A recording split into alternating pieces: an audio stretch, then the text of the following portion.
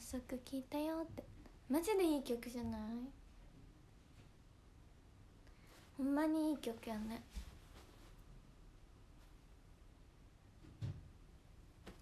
こんにちは。こんにちは。866めっちゃねみんな好きって言ってくれる。こんにちは。今日は発売日なので発売日なのでっていう意味じゃないけど昼配信をしてその後今日は発売記念生配信が全員であるのでそれ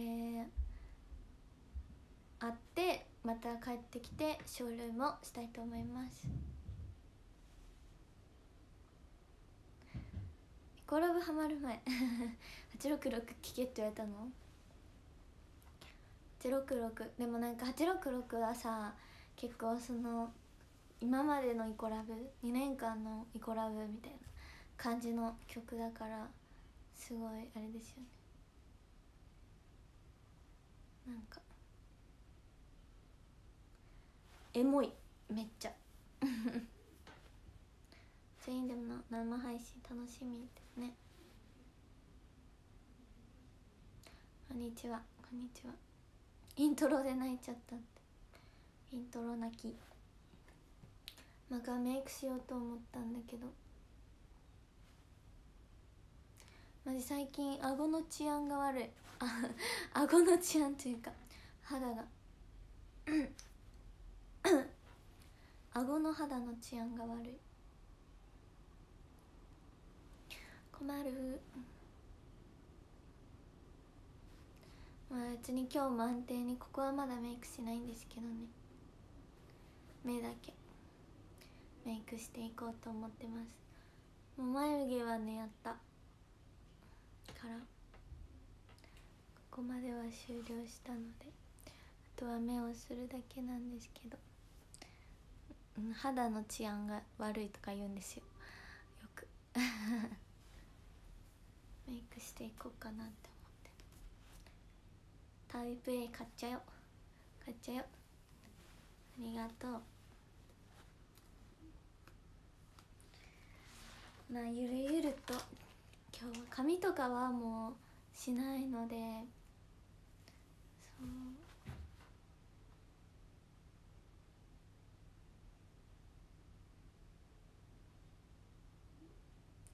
このまま行くので、まあ、メイクも向こうでする時間現場着いたりする時間あるんですけど。まあ暇だから。やろうかな。ってシアラさんが247聞いてるよって。ええ。ー、すごい。嬉しい。24-7準備してるライトにあという。歌うのに必死あれ。歌って踊ってするのにね必死。めっちゃ。急にメイクし始める。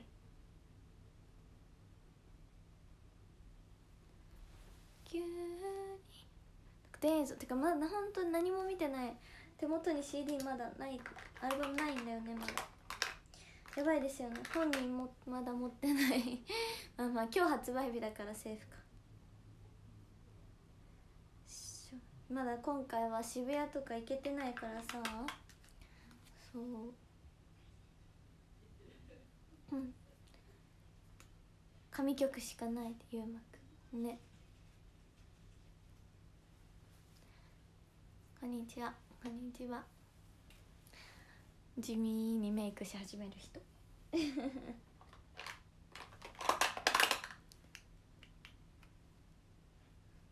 別になんか時間あるんだけどね本当にあっちって。まあしておこうっていう。精神でしてます。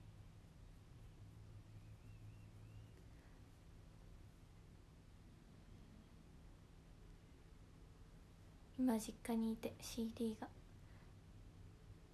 別に別に届いてるから早く聞きたい。瀬戸りがか最高すぎて。最高すぎて。イカちゃん見に行く。ね。マイカちゃん何の衣装だっけ？あれか代理か。違ったかな。代理だった気がする。代理じゃなかったかな。ちょっと覚えて。メンバーの衣装をねそう見れるのは結構レアだと思う。今日なんか左のなんか目がなんか最近左の目がおかしいんですよね。なんか開かないんだよね。お疲れの催す。左のお目目が。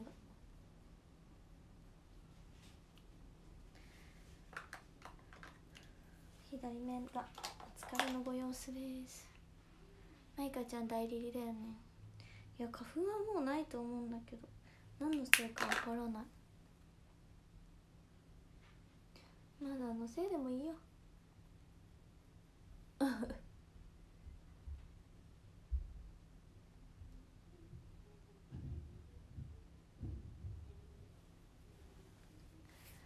アイシャドウ塗ったらあれだ。まだマシになるそれゆ衣装見に行くの楽しみ。それゆはマジで広島県民のあれですよね。広島県民の集いの場所。手遅れ衣装見てきた。手遅れパーカーも久しく最近見てないな。てか過去の衣装本当にあんま見ない。本当に着ないから。着たいよねもっとね。もっと着たい。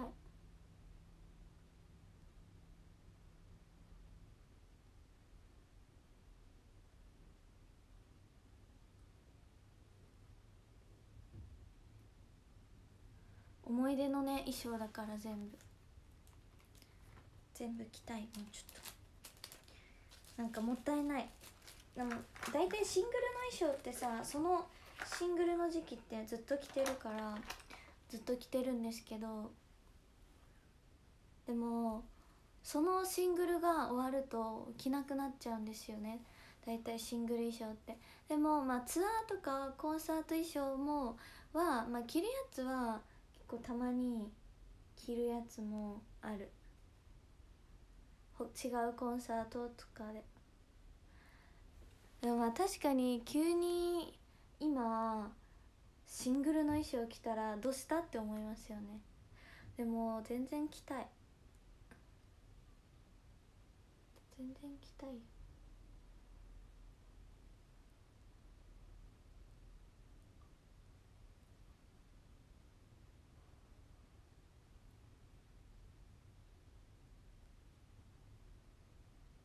あー確かに。沼の MV で久々にいろんな衣装着たよ。楽しかった一瞬しか着てないけど。えずるずるね毎毎回みんなで着たい。ずるずるみんなメンバーすごい好きだからそうずるずる着たいかもしれない。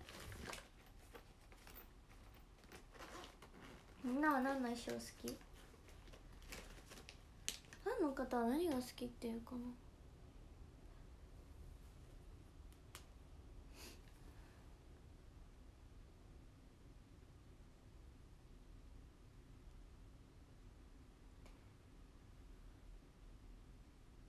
でも毎回さすごいしのぶさんが今さノートっていうやつにすごくいろいろ書いてくださってるんですけど毎回嬉しい。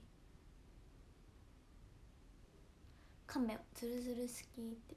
ズルズルやっぱ人気。手遅れも好き。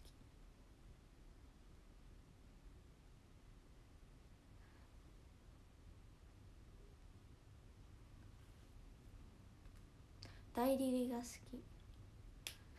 青春サブリミナル。全部いいよね。結局全部いいんだけどそう。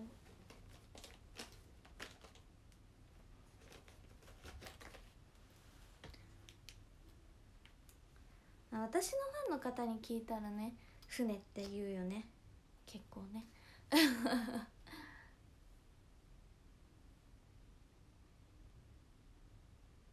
あもう船好きよ船の靴はあ今船の靴確かアンコールで履いてるやつだよ。今のツアーの。史上最強にぺったんこの靴。なんか全員があの靴だったら別にいいんですよ。みんなちっちゃくなるから。でもあの沼の MV の時私だけあのぺったんこだったから余計ちっちゃくなっちゃってそう。今はみんなでちっちゃくなってるから平等に身長が縮んでる。縮んでるというか伸びていないからいいんですけど一人だけあれはちょっとねきついですね。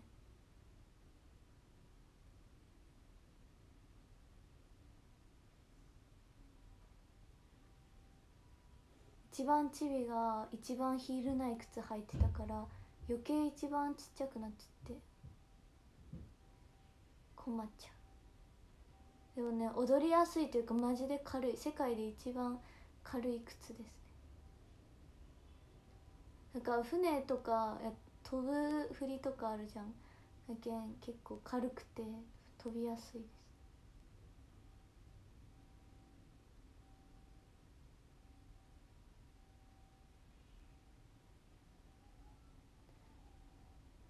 す。久々にまつげやった。最近まつげやってなかった。ここ最近。はティフのホットステージ？ああ3周年？あれもね結構好きなメンバー多いです。でもこれから夏だからあんまり一旦着ないんじゃないかな。夏はやっぱねちょっとね厚手だからあれ。なかなか着なくなると思う。大阪のねこの前ねスペシャル発売記念スペシャルライブ？サブリミナルの？の時の昼公演で来たよね。でももう一旦あんま着ないような気がするな。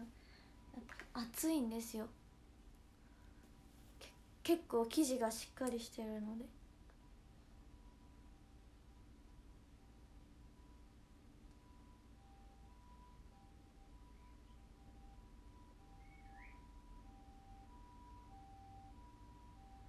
まつげを塗るとね黙っちゃう。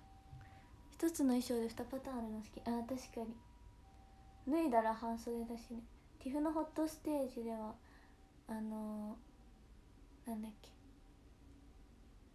2つなんか途中で着替えたりしました。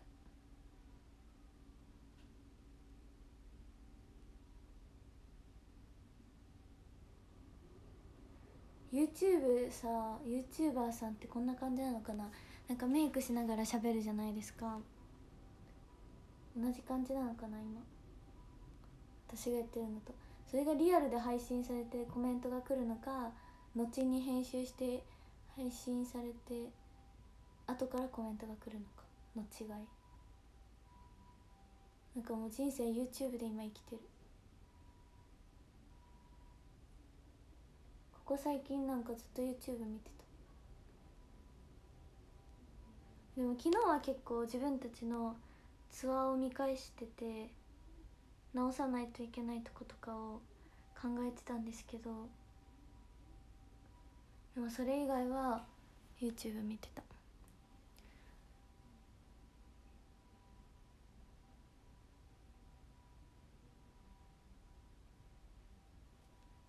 オッケー。ということでマスカラ完了です。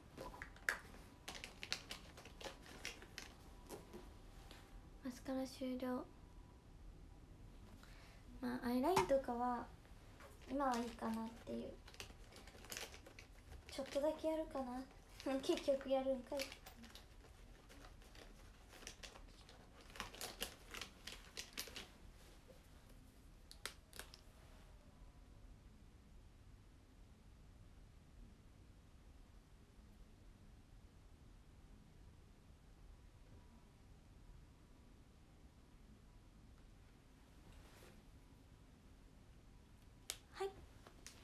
終了。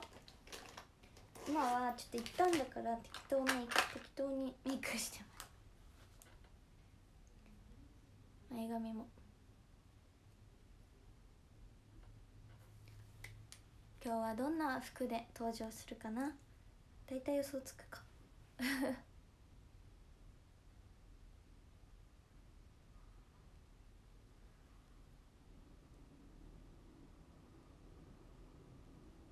近涙袋作る時さ絶対ここにさ白いのをさ白いっていうかコンシーラー明るいコンシーラーを入れないと嫌になっちゃった。もうずっとここ最近ずっと入れてる。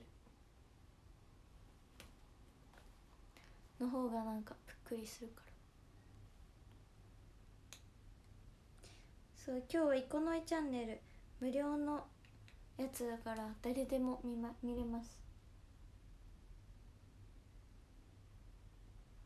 のでみんな見てください。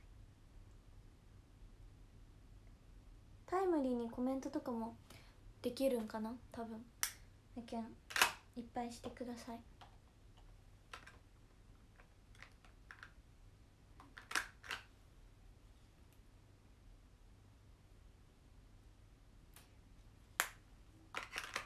でもこういうね生配信は緊張とかはしなくなった。きっと。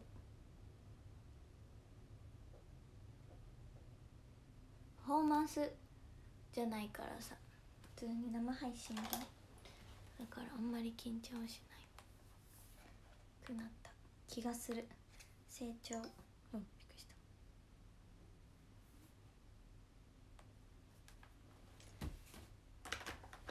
ちょっとだけ口の色やっとこう。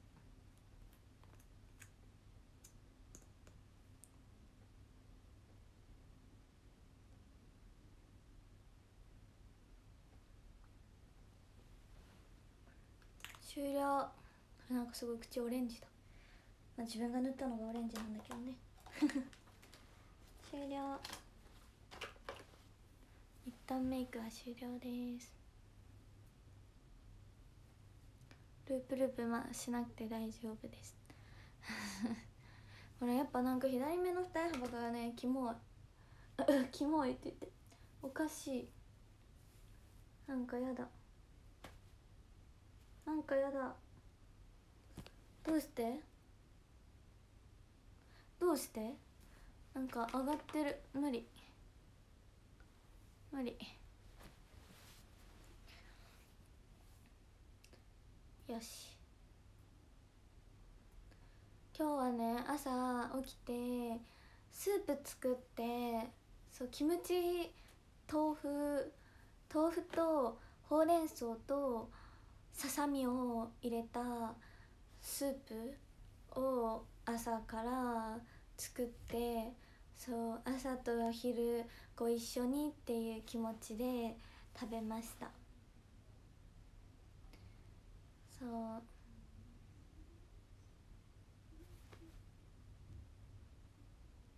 そうスンドゥブ的なやつを朝から作った卵とあと。そう。なんか昨日の夜寝る時になんかすごい、まあ、携帯とか見よってなんか食べたくなってそう。私まあヘルシーじゃないですか。豆腐とささみとほうれん草のスープだからまあいいかなって思って作って朝から食べました。そう全部目分量で作ってそう適当に全部あれしたんですけどすごいちゃんと美味しくできたのでいい感じでした。なんかスープで卵好きなんですよね。た、ま、なんかふわふわの卵に最後なんか最後溶き卵を入れるのがすごい好きでそう。赤き醤油もね使ったよ。使った。っていうかなんだっけな。なんかね本当はとっとくみたいな なんだっけ。そっとくみたいなさなんか平べったいお餅があってそれも家にあるから入れようと思ったんですよ。昨日の夜は入れようって思ってたんだけど忘れてました。だから結局入れてない。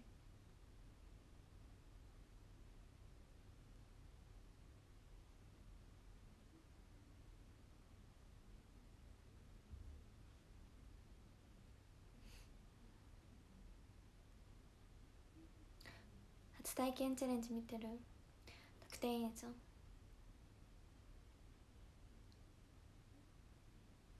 そうなんか私も結構夜に YouTube とか見るとなんかそれがすっごい食べたくなるんですよ。でもなんかそ昔は結構その夜に結局作って食べちゃったりしてたけど最近はもうなんか夜ご飯食べた後はもう何も食べなくなったしそう。前よりは食べなくなった。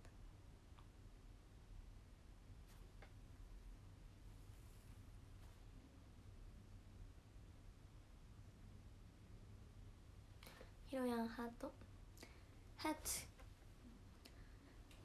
ありがとうございます。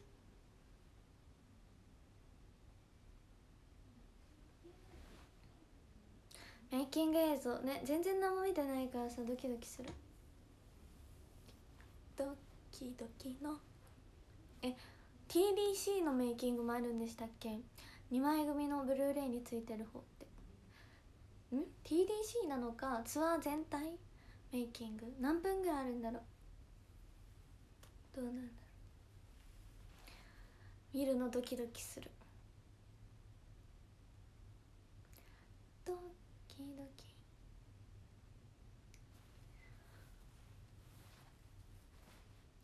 全然ね何にね何が収録されてるか分かってないんですよね。あ間違えた。TDC はそっか武道館。6月3日発売のやつか。まだまだのやつだった。あれ今回は何が収録？メイキングはメイキングは桜の咲く音がしただけか。桜の咲く音がしたの制作のメイキングが入ってるのか。特定映像見るの怖すぎてちょっと見れないかも。恐ろしいよ見るの。顔面大丈夫でした？え本当にまあもう言うんですけど、まあ、バンジーに行ったわけですよ。そうでもね多分そんなに本当はこの日本日本の中でもっとさ茨城にありますよね。もっとすごいやばい 100m とかのところが。もうしかもなんか川の上落ちますみたいなやつ。があるじゃないですか。あれとかやばいじゃないですか。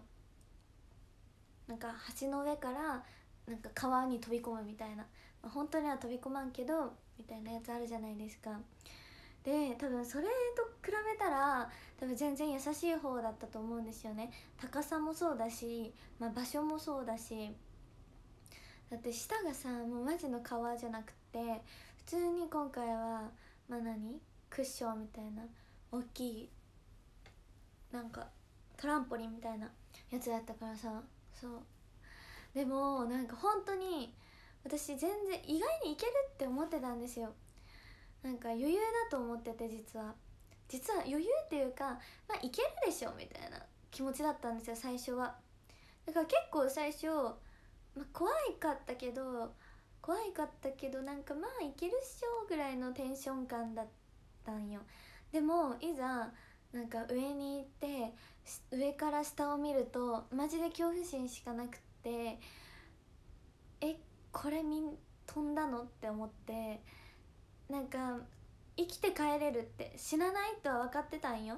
絶対にこの私との砂は切れないしもし切れたとしても下はポッカポカのふわふわのものだし絶対に死なないって分かってたんよけどいざマジで見たらほんまになんか涙出てきてなんかほんまにあこれってほんまにこんな怖いんやって思ってえ絶対茨城のやつもっとやばいじゃんって思ってそう後からなんかその YouTube とかで調べてみんなで茨城のやつとかも見たらもうなんかレベチすぎてあもうすごいなって思ってそう。マジで最初はあもうなんか絶対にリタイアはしたくないって思ってたんですよ。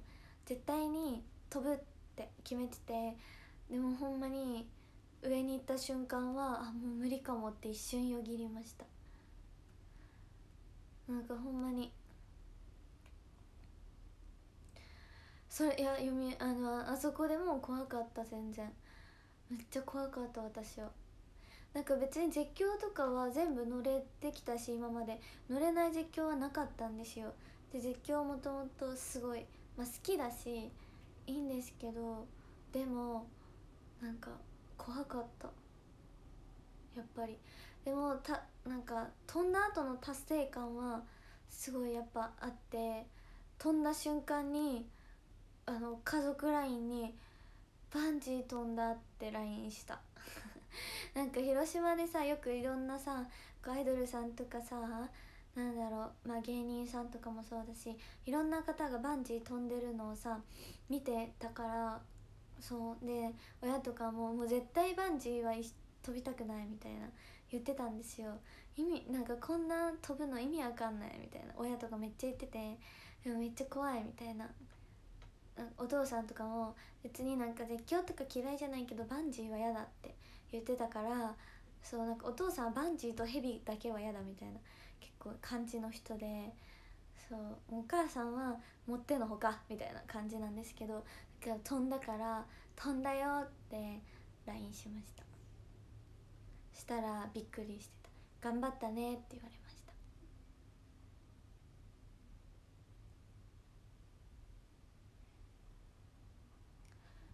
でもその日のその日夜確かお弁当が美味しかったことは覚えてる。なんかあれ？昼ご飯何食べたんだっけな？あ昼もお弁当か。そう。昼お弁当だったらもうバスの中で、まあ、全部ご飯は食べてて、まあ、やっぱりコロナ禍なのでバスの中でお弁当食べてて昼は。あ昼も夜も。で昼はあなんかねあんまりまあ普通にねでもよく食べるよく出てくる確かお弁当だったんですよ。そうでも夜夜ご飯全然なんかそうねバンジーの時結構夜だったけどなんかその時はまだあの何時だったのか分かんないんですけど夜のお弁当がなかったんですよ。なのであのバスの中をみんなでお腹すいたってなってでもみんなお腹すいたみたいになってバスの中を勝手に物色したらなんか昼とか朝のに食べたなんかお弁当がまだあったんですよ。出てきたんですよ。もう食べようやってなって勝手にもう昼と朝のお弁当を食べちゃってたんですよ。少しみんなで。なんかでなんか出てきたのでそうまだ新しいやつよ。ちゃんと新しいやつがそのまだ段ボールに余りが入ってたのででなんかスタッフさんが結構みんな外にいてその準備をしてくださっててで、ま、私たちは待ちの時間だったからもう物色したんですよ、うん、そしてなんかお弁当食べてたんですよ。食べるんじゃなかったと思ってその後そのバンジーっていうのを知らな知らずに普通にお弁当を食べちゃってそう。でなんかうわやばい食べちゃったってなってもう絶対さ食べるんじゃなかったって思ってその後にやらかしたって思ったんですよ。そうけどでもお腹が本当に空いてて元気が出なかったから、まあ、食べたんですけど、まあ、食べて別に大丈夫だったけどそう、まあ、なんかね全部めっちゃは食べんかったけどけど少し食べちゃってそうみんなで「えお腹すいた?」とか言って「あまだ朝のならあるよ」とか「昼のならあるよ」とか言って みんなで食べたから。みんなで食べちゃった。みんなお腹空いて。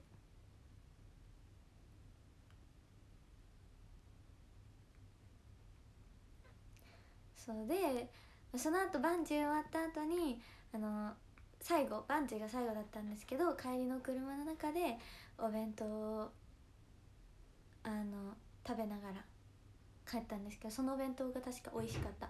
何のお弁当か覚えてないけど美味しかった。あ違う思い出した。天ぷらが入っててそうなんか天ぷらの弁当って珍しくてそう美味しかったっていうことをすごく覚えています。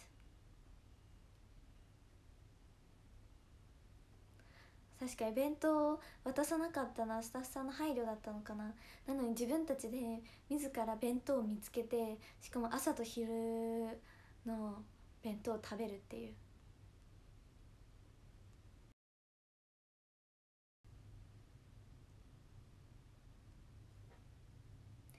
美味しかった。天ぷらってその字書くんだ。バンジー飛んだ後ショールームしてたの？じゃない？覚えてないけど。まあでも全然バンジー飛んだ後は全然もうなんかもうなんか疲れ切ってた。でもそう私疲れ切ってたんですよ。なんか私めっちゃ疲れててなんか泣いたしなんかもうわーわーしたしでその日すっごい疲れてこうみんなでそのさバス移動してたじゃないですか。そのバスさこうこの字型？メンバーがさ結構この字型になってるバスだったんですよ。そうでもなんかそこって、まあ、なかなかさ何？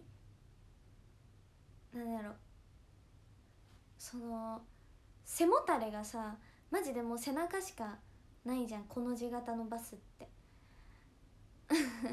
だからなんかもう疲れちゃってそう。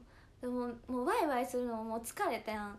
だけど普通にあのー、普通の席にもう撮影とかはしてなかったからもうねあんあんがそういうことするの結構あんまないというか珍しいと思うんですけどもう疲れてマジで。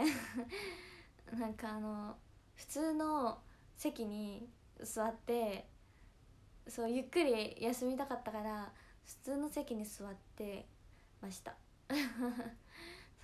そしたらお姉ちゃんさんに心配された「大丈夫?」って言って「あ大丈夫です」って言って ました。マジでね疲れた。めっちゃ疲れてたあの時。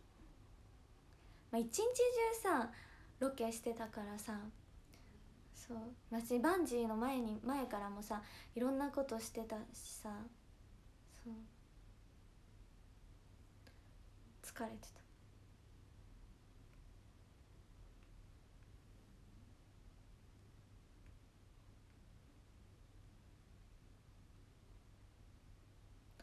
そう全部一日でやってたから。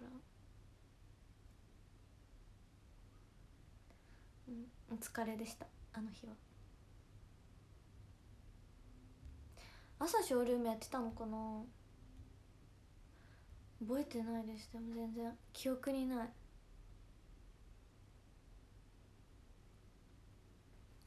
特典映像皆さん見てみてください。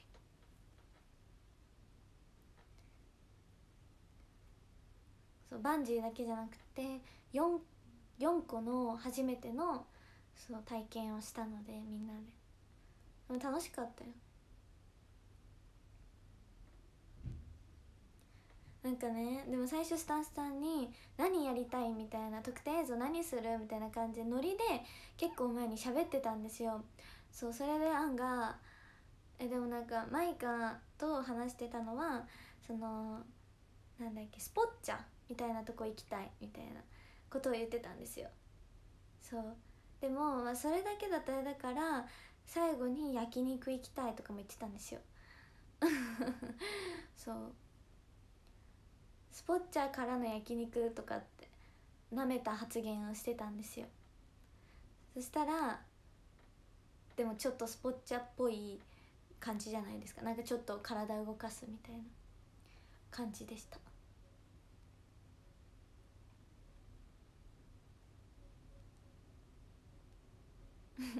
スポッチャからの焼肉マジ学生かってね普通に普通の学生の遊びかっていう 放課後かっていうかな話なんですけど夏休みかっていう話なんですけど。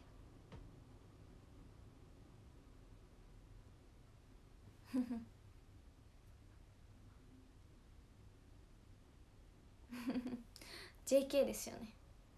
スポッチャからの焼肉でって。体を動かしてお腹空かせた後はみんなで焼肉って。なかなかさこのご時世さ大人数で食をさできるとこできるのがないからさ。そう。叶わぬ願いだったけど。実況配信の時見ようと思ってたけどその前に見たくなった。一回見とく。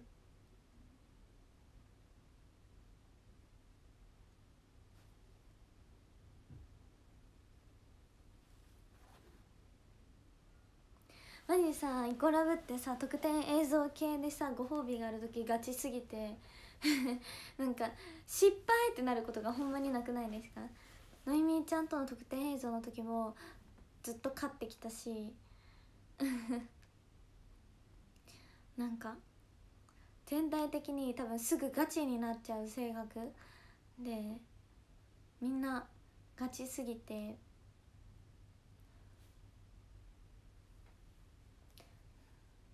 なんかもう負けたくないみたいな。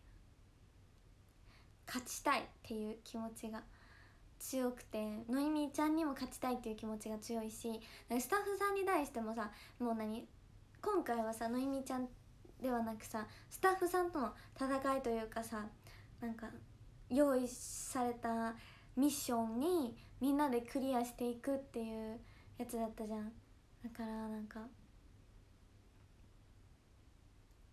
ねなんかすごいめっちゃガチでやるんですよ。みんながしかもめっちゃガチになるけんさ。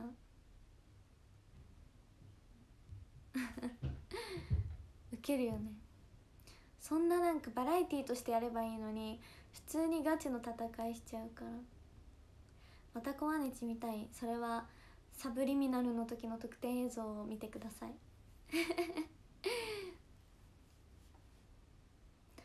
全力のやつ。名作。ああいうことも平気でやっちゃうのがイコラブですからね。平気でしかも全力でみんなみんなでしかもやっちゃうのが誰かが代表でやるんじゃなくて全員でちゃんとやるから。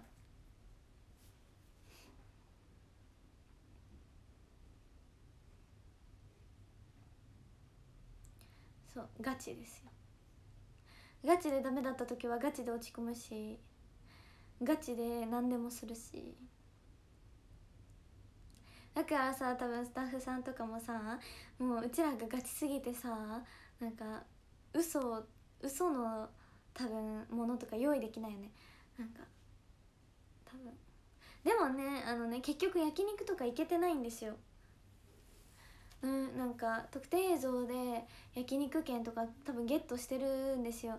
でも一回も結局メンバーで焼肉行けたことなくってそう。スタッフさん喜んでるかな？コロナ禍だから行けないっていう理由ができて。全然行けてないの。でもさ今回のさと何？今回のご褒美もさまあまあさすぐにはいけるようなことじゃないじゃん。だからさわざとそうしたのかな。すぐできるご褒美レベルだとさすぐ要求されるけどさ 今回のさあのご褒美はさそんなすぐさ行動できることじゃないじゃないですか。だからさまあでそういう意味でさそのレベルのご褒美にしたのかな。時間経つと忘れると思われてるかな。忘れませんよ私たち。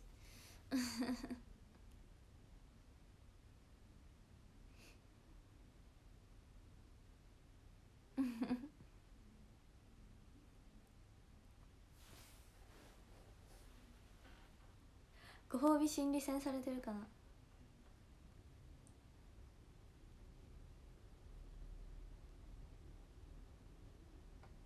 私たちは忘れないですよ。私たちよたまに言ってるもん。あれ焼肉はって。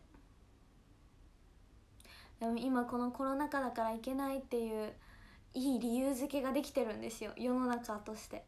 よくないなそれは。しょうがないけれども。よくないですね。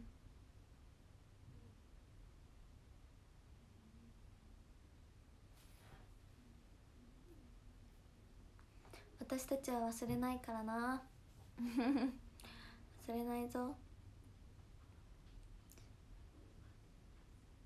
今3つぐらい焼肉券溜まってるらしいからイコラブ私のショールーム1000日の時の焼肉券も含めて。ちゃんと焼肉券私も持ってるし。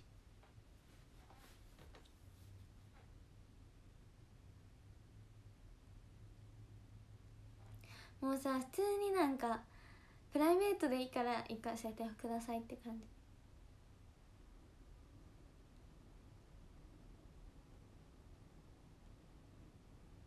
3回に分けていくのかまとめていくのか？3回に分けていこう。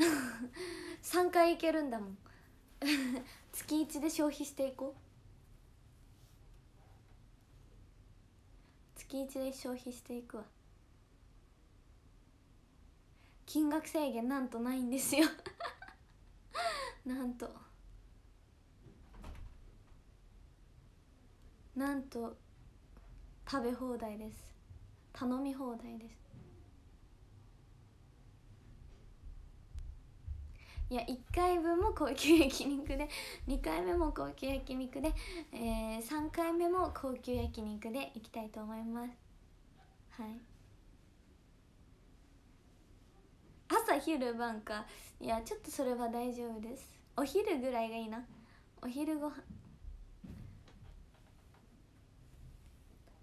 でもなんかそうやって言うじゃん。でも多分ちょくちょくなんかメンバー全員ではなく少しずつスタッフさんがその焼肉とかご飯とか連れてってくださってるから連れてってるじゃんって言われたらそれはそうってなる。けどちやっぱだったらやっぱカメラ入れた方がいいか。前この前行ったじゃん焼肉って言われたら終わりなので店舗はメンバーが決めていいかな。決めます。私たちをいっぱい知ってるからみんな。みんな知ってるから私たちが店舗指定しよう。3つでしょ？えー、どこにしようかな？3つ指定できるんでしょ？指定しちゃうよ私たち。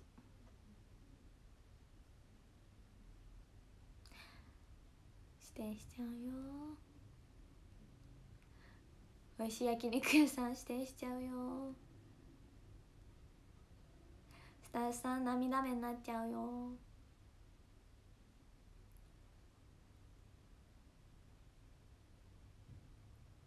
やっぱ王道叙々苑は1回は入れとく？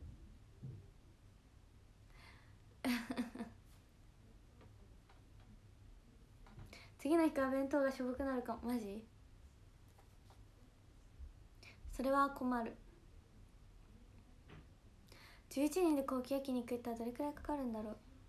えー、どんぐらいかかるんでしょうね。場所によるよね。本当に焼肉屋さんってほんまにそれぞれによるからさどうだろうね。でもだいぶ食べると思う。でも一回3人で叙々苑に行った時にそれはなんか叙々苑券みたいなのを1人1万円分ずつもらって券があって3人で行ってメンバー。で3万円だったんですよ。ででも結局3万円食べなくて2万9,000円ぐらい多分食べたんですよでも。そう。お昼に行ってそう。でもランチを頼まずに普通にいろいろ夜メニューというか普通のメニューで頼んでそんぐらいだったから。そう。1人でも1万円は食べないと食べないぐらいだとしてて考えたらだいぶいっちゃいますね。まあ10万円ぐらい。10万円弱とか。そんぐらいじゃない？10万10万ぐらいだと思う。分かんないけど。全員で行ったら。11人で行け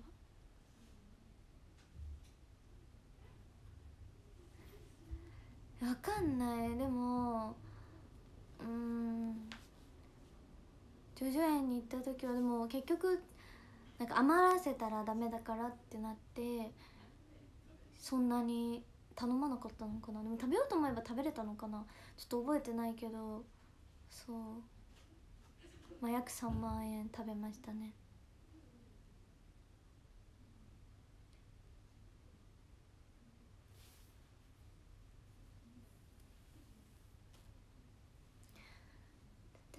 10円でシャトーブリアン頼むとそれだけで1万5000円。マジ？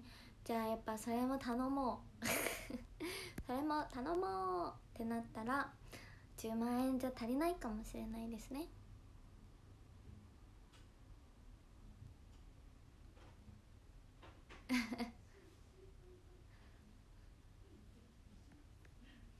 メンバー1人3人前の人いるじゃんそうですね。みんなみんな1人2人前ぐらいは食べるかな、全員が2人前だから22人前まずいるんですよ。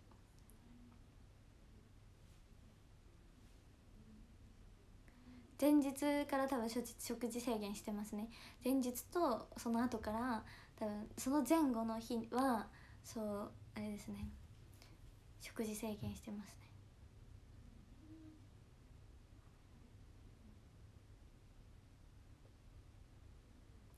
やっぱお肉は美味しいですからね。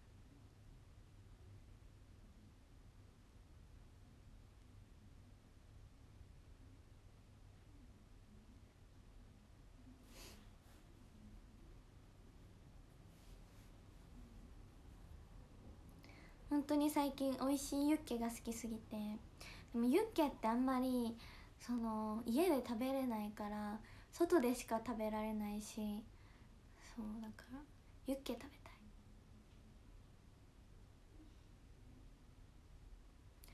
えー、肉はね太らないと思っていっぱい食べたら結局まあ結構なあれなんですよね。肉も。ずっとねそりゃでもになんか焼肉ってでもまあタレも結構ねカロリーあるしね。でもあんまりなんかお米そんな食べないかも。だからまあ焼肉は太らないって思われがちだけどでも普通に量食べたらまあ多分太る。普通にね。普通に。うんユッケたユッケはやっぱねちょっと値段する方が美味しいしなんかいいですよね多分ユッケは。私もねにあのー、あれですユッケ食べれなかったんですけど食べれるようになりました。好きになった。ユッケ美味しいよね。有限定行こう。そうだね。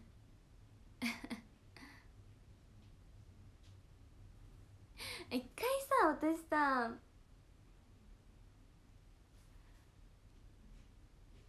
有限 有限定から私ショールームしてませんでしたっけ？私一回さ焼肉屋さんからショールームしたことあるんですけどマジ焼肉屋さんからショールームするなって話なんですけどやばくない？焼肉屋さんからショールームしたいんよ私。めっちゃ過去にね1回だけ。うん違う違う。指原さん行った時じゃないよ。違う違う。もっともっと前。それはもっともっともっともっと前です。本当に。超前に。違うよ。違う違う。指原さんいらっしゃらないですよ全然。メンバーでも誰かいた気がする。とスタッフさんとそう。で焼肉屋さんからショールームしたよ。1回だけだったかな？多分1回だけ。あれ？福島？福島でもやったかな？してないかな？福島はしてないか。分かんないけどしました焼肉屋さんから。別になんか焼肉食べてるところを配信してたわけじゃなくないんかな？けど焼肉を食べてる食べる前だったかな？そうなんかねしたよ。そこで。多分ねそんないいお店でさショールーム生配信する子なんてなかなかいないと思う。めっちゃレアな人だったと思います。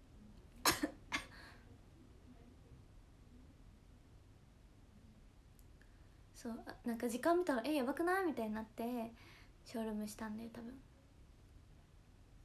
違うなんかそうだ思い出した。でも個室がなくっていろんなお店で個室があるところがそこのお店しかなくってそうそこにしたんだよ。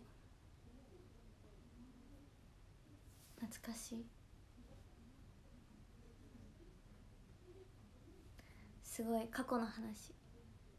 いろんないろんなあれがありますわ。いろんな思い出がありますわ。2年前くらい。うん。かな覚えてない。2年以上前なのかな。結構前じゃない？分かんないけど。全然もう覚えてないけどね。ショールームをショールーム武勇伝多いと思う。いっぱいあるよ。いろんな思い出ありますね。いろんな場所でショールームしてそう今まで多分語ってないこととかもいっぱいあるしそう。ああの時そういえばメンバーいたわみたいな時なんていっぱいあると思うしそう言ってないだけで多分なんかメンバーが家にいて知らんなんか知らんふりしてショールームしてることもいっぱいあるしもちろん。ほんまにいろいろあります。ショールームをあの変な場所からねしてる時も結構あるしそれぞれなんか全部思い出でもそうでも4周年はでも8月なのであと約3ヶ月ぐらいかな。そう3ヶ月ぐらいでショールーム毎日アイドル4周年になります。8月19でしたっけ？そう8月19だったと思うけど4周年になりますね。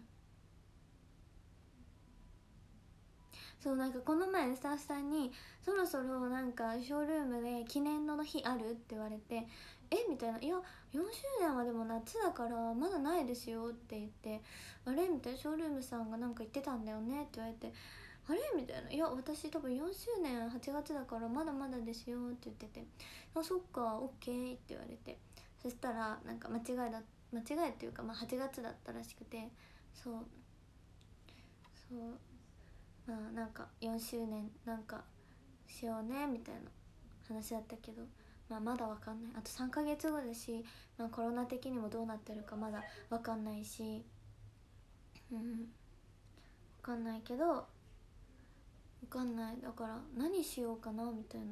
いや何がしたいかなって自分で思って。でも本当にいろんなことやり尽くしてきたからもう何がしたいか自分でもよく分かんなくて もうなんか日常？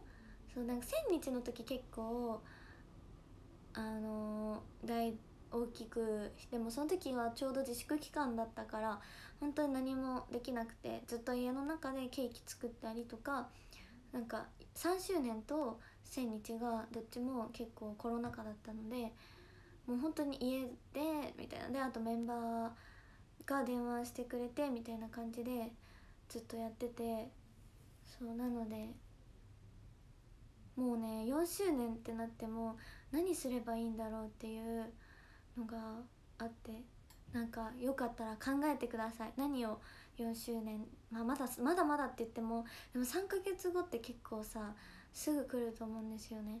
なので何がおすすめか何をしたらいいか。星になってますよ諸橋さん。諸橋さなイコールラブ。本人ですかね。本人ですか？ツイッターに皆さん飛んでみてください。でももし本人だったら教えてあげてください。星になってますって。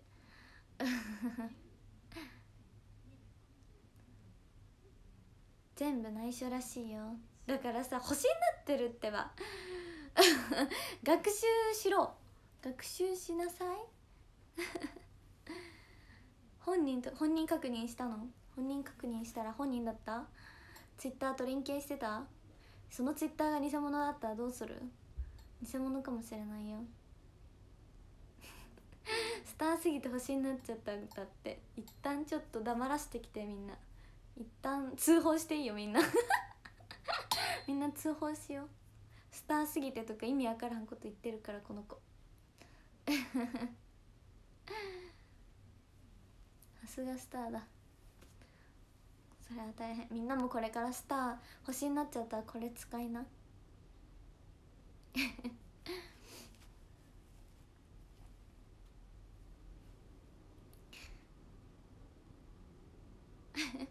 6万フォロワーいたから本物？本当に？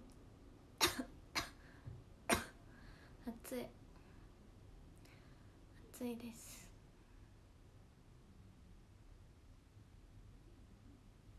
さすがオーラが違いますね。絶対わざと星打っとるじゃん。123 12345スターかける5だって。スタースタースタースタースターなんだって。でもさ水スターって自らさスターとか言わないよね。もろさん暇かよ、絶対暇よ。この人。やっぱあんのはスターなんでスター3つなん？最悪じゃない？人自分はスター5個にしといてさ人はさスター3つにしてんだよこの人。どうする？発売日だからって調子に乗ってんじゃないこの人。っていう嘘です。サナがコメントしてくれました。ありがとう。電話やだ。だって恐怖でしかないもん。2018年7月27焼肉店の個室でいおりみりにあとスタッフさんと一緒に食事中に配信。で わざわざ探さなくていいからそのその話。探してんのウケる、ね、ファンの方ってほんまにさ過去のこととかをよくさご存知ですよね。よくご存知だしよくツイッターから見つけてくる能力すごいよねほんまに。世界三大美女そうやね。なんだっけクレオパトラ諸橋さな卑弥呼ですもんね。知ってる。じゃあさ 今度さ あれにしようよ。サナのさ他他者紹介みたいなさツアーでやってるさところあるじゃん。あんは花ちゃん言ってて元気？セクシー？かっこいい？みたいな言ってるんですよ。メンバー紹介するでもサナの時さサナがに言ってもらう時にさ世界の三大美女は世界の三大美女はクレオパトラ卑弥呼諸橋さなにしよう。そしたらさいいじゃん。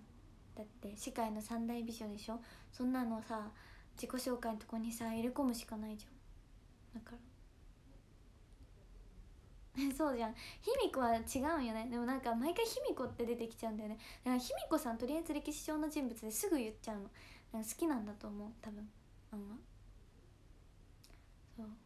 今度あの次のツアー福岡か。福岡ツアーはそうしよう。誰かに言ってもらおう。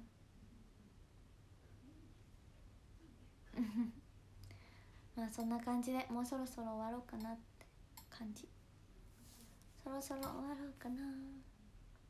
リサに言ってもらう。そろそろ終わりたいと思います。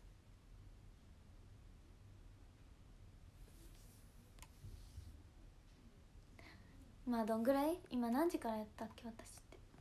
ちょうど1時間ぐらいですかね。11時半ぐらい。タワレコ行ってきますって。いってらっしゃい。ありがとう。みんなゲットしてくださいね。全部内緒。ファーストアルバム全部内緒。サナエモン配信ありがとうって。サナエモン配信してないから。アンナだから配信したの。今日は夜7時から8時まで生配信がありますので皆さんぜひご覧ください。このいチャンネルで。ぜひご覧ください。アルバムサイン届いたよ報告いっぱいありがとうございます。みんながね大事にするねってツイートしてくれてるのが嬉しい。ありがとうございます。ゲットしてねみんな。では順読んでいきます。13位がタッチーさん。12位が MKT さん。11位がジッスン。10位がターくん9位が中条さん。8位がガミさん。7位がゆうゆうさん。6位がえー、っとひろやんさん。5位がいとこんさん。4位がとも3位がゴエスさん。2位がレギュルスさん。1位がさしなゆいさん。です。ありがとうございます。1人目ランダム。太郎さん。2人目。ホテルの支配人コンビニのファンスファンスフアンさん。ラスト3人目。ジェイオタさん。の3人がランダムです。ではまた夜配信します。さよなら。バイバイ。さよなら。できます。